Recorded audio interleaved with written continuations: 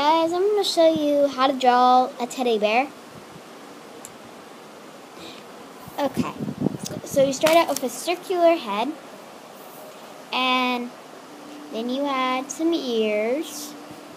One, two, you want to make those really circular. Okay, and then you want to add the inside to them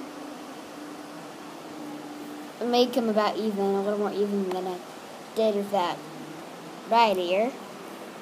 And then you're going to make the little beady eyes. You're going to have to fill those in. Just going to fill those in.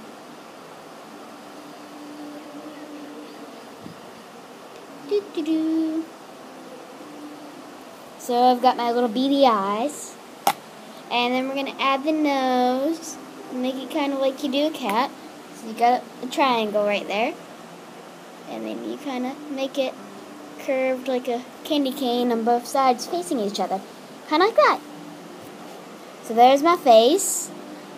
And, um, after this it gets a little tricky, so I'm going to add a small neck, very short neck, and you're going to draw a circle on whichever part you want to do to the side.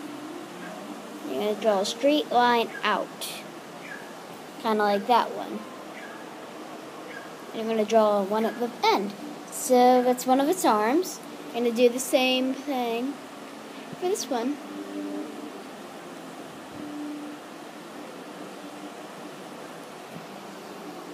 Okay, that's very uneven. There's my teddy bear.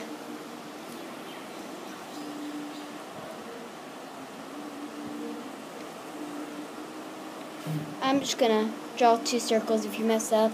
That's what you do. Anyway, so then you're gonna wanna make a big teddy bear thing right there.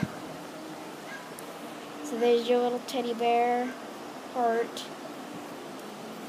thing. Usually you make them bigger. And then you add the legs, same way you did the arms.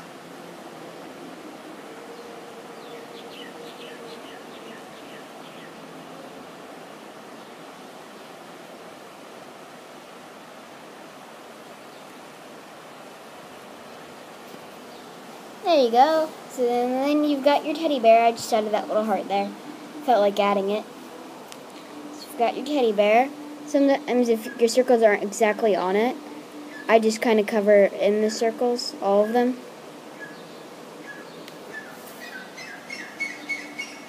Sometimes it's best just to do the circles on the outside.